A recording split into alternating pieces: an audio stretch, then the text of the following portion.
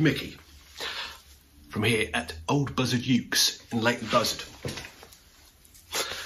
Now, you'll have to excuse me because I have never, ever, ever done anything like this before, one of these kind of unpacking videos.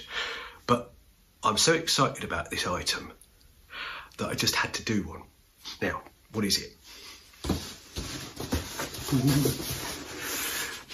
See, this bad boy is a Lava Music U, or is it a U2? Hang on. Yeah, no, Lava U. And it is a tenor sized ukulele that is nothing like you've ever seen before. Right, so what I'm going to do is just reposition myself a bit and we'll get on with its box. you ready? Here it is. Now, this one has actually been opened be checked by uh, an employee of Lava here in the UK, but you're going to love this. Watch. There's usually a tag strip which pulls across here, apparently. There's a picture of it on the front, right? So, here we go.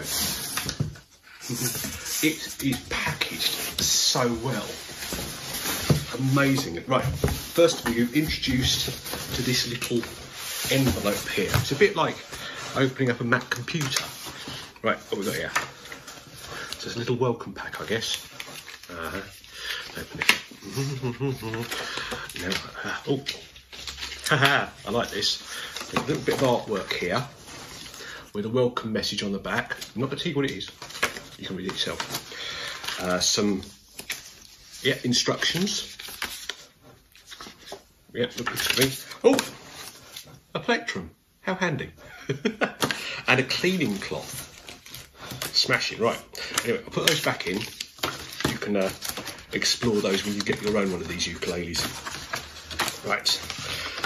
The, uh, the packaging is, as you can probably see, a big piece of um, polystyrene foam sort of thing, it's really densely packed, so keeping it nice and safe from its travels, from its manufacturing. You ready? I'm going to do it like this so you can see. Right. Then, drum roll. And like my like. Here we go. Oh, oh, it's, it's in bed. As you can see, they've really taken time to actually package this thing nicely. Uh, put the box down there. Right, okay. You're to love this case. It's amazing. Right, let's remove it from here. Ready? Da da da da da da da da da da. Ooh. Isn't that awesome? This thing is apparently called a space case. You can't buy them uh, separate to the ukuleles, so they're very particular to the brand. But it's amazing, it? It looks like some kind of science fiction pod thing that's got your laser in. Anyway, enough of that malarkey. And as you can see, it, it also displays the instrument beautifully. It's a work of art in itself. And there's a button here that says push. Do you think you should have one of those kind of like Star Wars door noises, like a push? I think you should have, but it doesn't. Anyway, open it up. Check that bad boy out. Here it is. The Lava U ukulele. Right, I'll give you a bit of a look at it there. Oh yes, nice logo there. Brand name there and so on. There's a little tag there will get in the way. Uh, right, give me a moment. I'm just going to revise a few things and tell you a bit about it.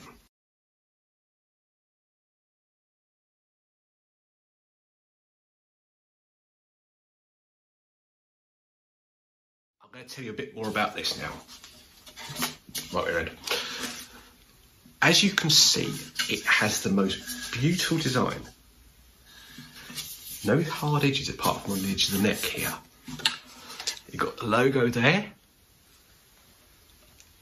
And a little graphic there, which is mirrored. And the whole thing is just so tactile and just lovely to run your hands across. It's really cool. So I really like small detail, but it's the machine heads. Look at them.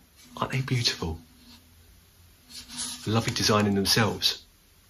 Apparently, they got something special about them. Uh, I can't remember what it was. It said something on the website. Uh, this is nice as well, isn't it?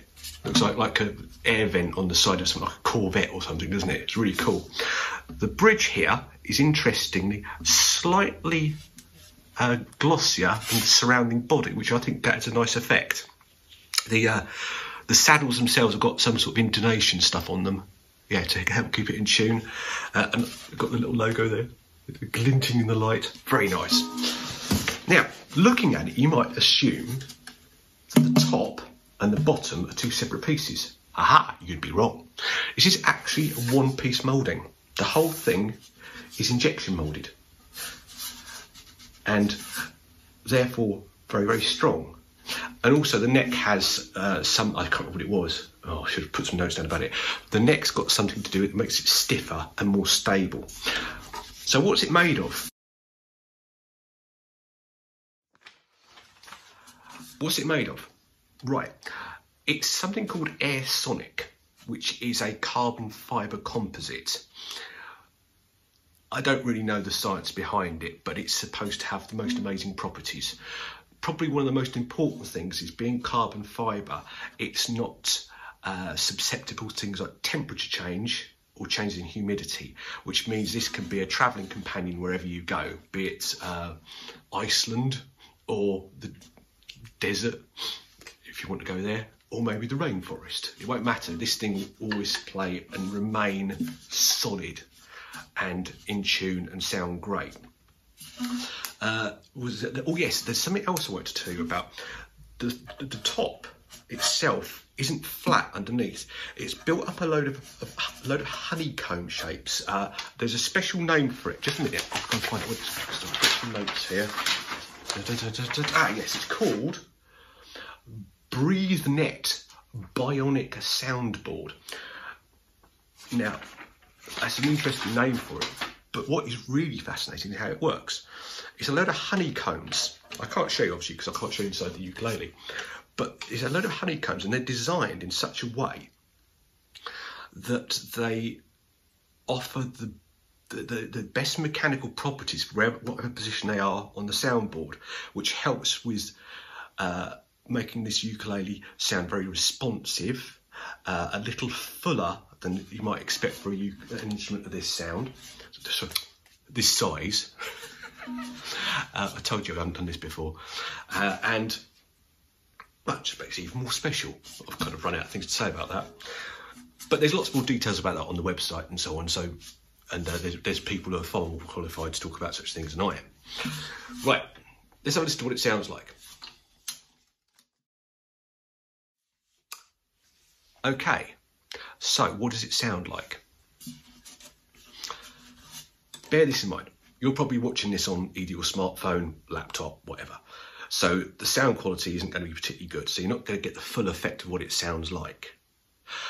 Also, I recorded this just using my iPhone. So therefore, you're not going to really uh, get the full benefit of its acoustics. However, I can assure you that it sounds absolutely lovely. It's really rich and sustains for a good deal longer than you might expect a ukulele to do so.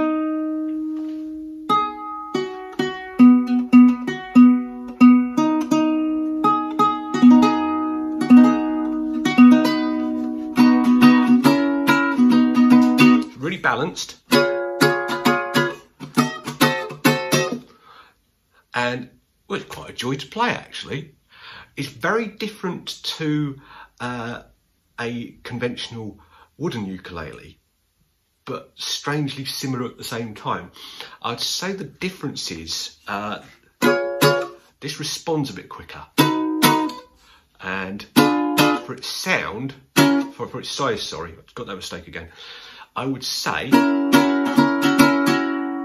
yeah, it's just slightly fuller in the whole of the rate, frequency range, whereas I find with a lot of those kind of guys, is that they will have a specific signature to them. This is a specific signature.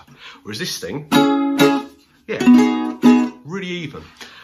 Now, what's this for? Haha, can you, I don't know, you can't see in there, probably can't. Well, in here is the lava, what is it called? Hang on. L2 mini pickup and preamp. Secret weapon, as I said. This little thing has actually got an amplifier inside it. Now the idea isn't for it to make it louder, but to allow you to add certain effects to the sound of your ukulele. Right, give me a moment. So, these sounds. You've got three controls on the top here. I'm going to have to move my glasses because I can't read otherwise. The first one here is for overall volume of the internal amplifier. The second one is an effect depth. And the third one is the depth of reverb. There's a little switch in here that if I press, you have to wait for a moment and then, can you hear that? Listen. It's got reverb on it. Isn't that cool? And I can control the amount of reverb by turning this little knob here. Hang on. Isn't that cool? I can turn it down again. A little bit. Yeah, it sounds a bit better. Mm -hmm. Also, you've got chorus here as well. All right, now chor chorus is. I've turned it off with a bit of reverb. Now I'm going to turn it back on again. Can you hear it? Slight wavering in the sound. Okay, and obviously got the volume on the end. Now also, there's another switch in here which you can't actually see, but changed it from chorus to echo. Listen.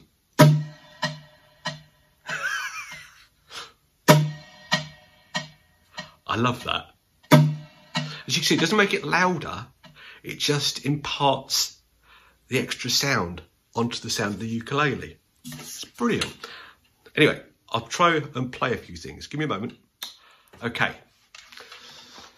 So let's see. We've got. I'm going to use the echo first of all.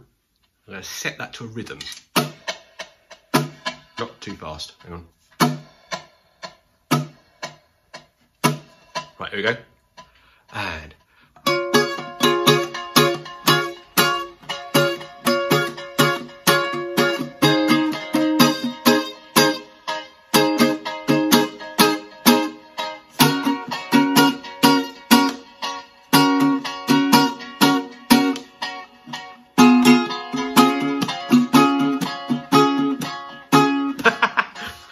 so much fun.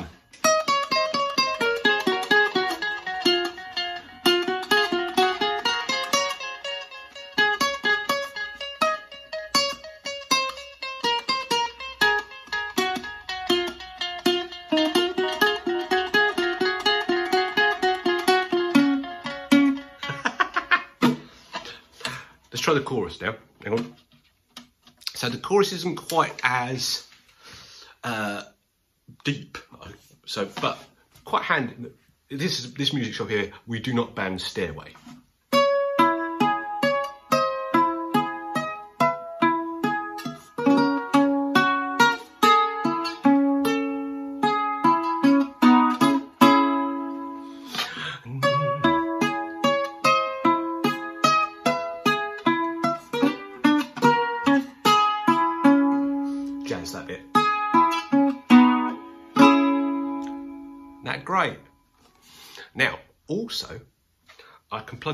An amplifier.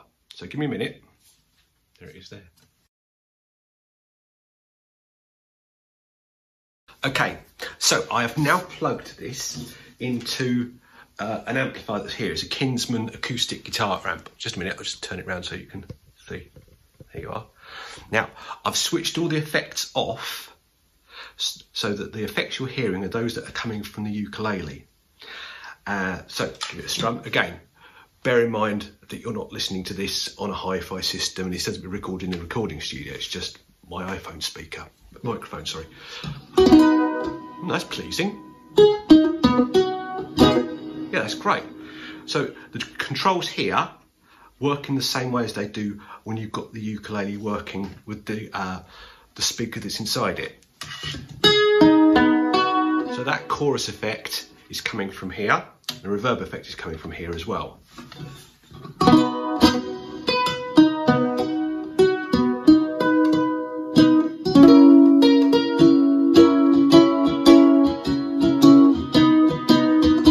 Very satisfying.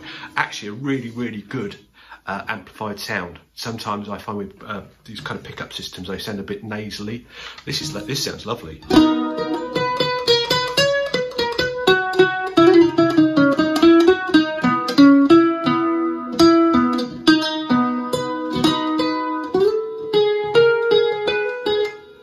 Hang on. It's new. Right. Let's try it with the echo.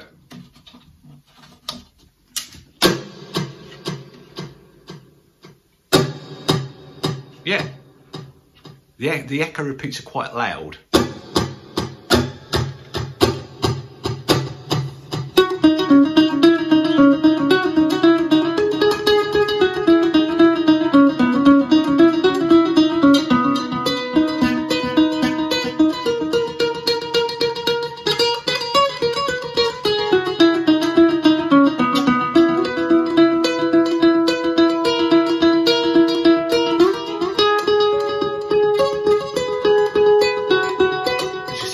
Prepare anything to play. It's great fun though.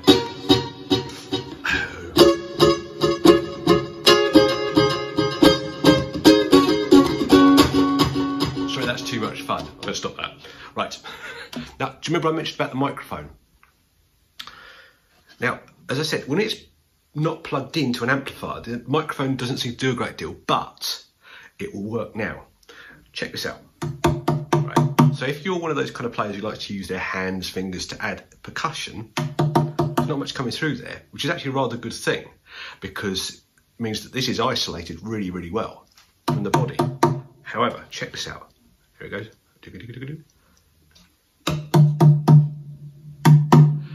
All of a sudden you've got a drum.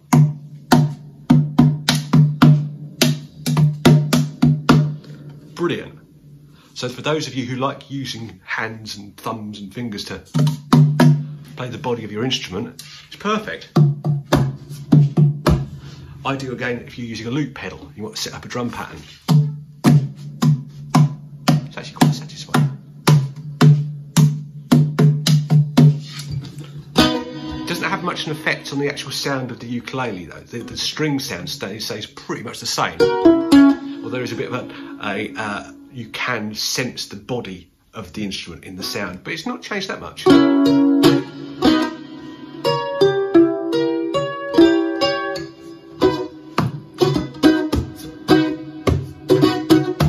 be honest with you, I don't play very much using my hands on the instrument, but just to demonstrate. Anyway, so that's what it does.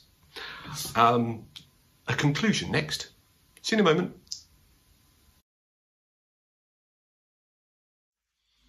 Right. So, conclusion. Hmm. What do I say? I love it. I absolutely love it. I think it's a fantastic instrument. It's it's tactile. It's fun to play. It sounds great. It's innovative. It's unique. Uh, and the L2 Mini preamp really does actually make a difference. It's not a gimmick at all. It is actually really useful and functional uh, both with the ukulele on its own and when it's plugged into an amplifier. It's fabulous.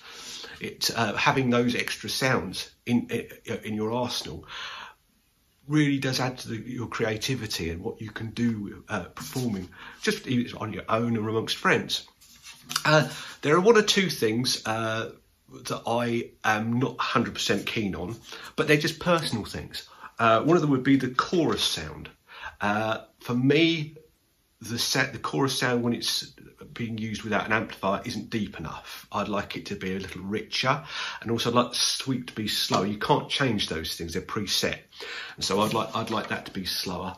Uh, and the other thing, oh yeah, this these knobs, they look great, but they're it's actually very difficult to tell if you're moving them or whether your fingers are slipping around them. There is tiny little dots on them, which I have to take my glasses off to see because I, my eyes can't decide whether I'm long sighted or short sighted. But look, you, can you see? I can't see it, can you? So th- that's something else I, would be keen for Lava to do is to, to maybe make, make the knobs so that they you can actually get a bit more of a grip on them and, and turn them. But they're just silly little things, uh, which have no bearing really uh, whatsoever on how great this instrument is. Uh, this particular colour is called, um, hang on, I did actually try and rehearse all these bits and pieces, but it didn't work, did it? Oh, and glasses off. Yeah, this particular one is called Sparkle Blue, uh, but I don't know if you see much of that there. There are other colours. There is Sparkle Red, Sparkle Pink, Sparkle Purple, Sparkle Black, Sparkle Gold. Uh, I think I've actually got a picture of some of the other colours here. Just a minute. Ah, yes, I have. One minute. Good. Right, look, look. So there, there you can see the full range in their little space cases. Looks cool.